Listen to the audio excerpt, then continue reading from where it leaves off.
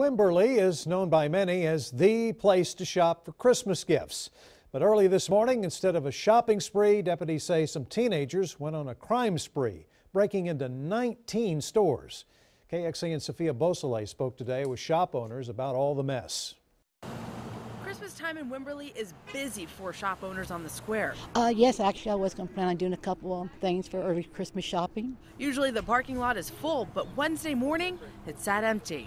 Broken glass. They broke in there and they tried to open. Instead of welcoming customers, Hugo Campuzano and his workers cleaned up the mess burglars left behind. Thank God it was.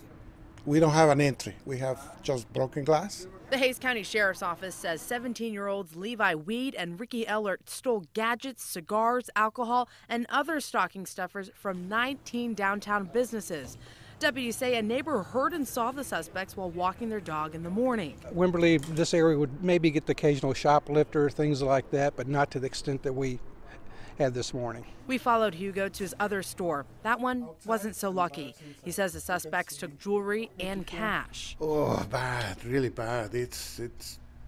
You are trying to work as as honest as you can, and these guys, these crooks, they do whatever they want.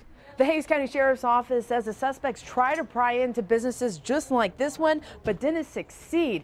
But owners had to spend the day trying to fix their doors. Reporting from Wimberley, Sophia Beausoleil, KXAN News.